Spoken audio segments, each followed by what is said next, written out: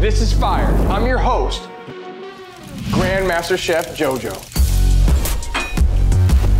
Today, I have two contestants competing head to head to create the best dish.